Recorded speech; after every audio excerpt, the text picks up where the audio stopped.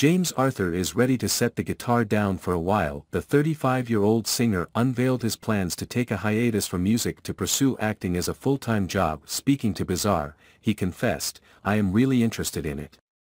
There was a time where there were a couple of projects where I was one foot in and one foot out and I was trying to make them work, Arthur explained.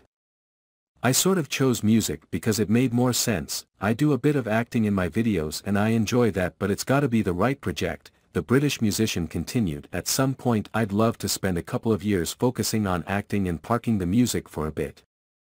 The Trainwreck singer's remarks comes on the heels of release of his latest album, Bittersweet Love. He noted that he will put out one more album before calling time on his acting career, I will do that after my next album, Arthur told the outlet. Then take a bit of a hiatus and focus on my acting because I've got one more album on my record deal.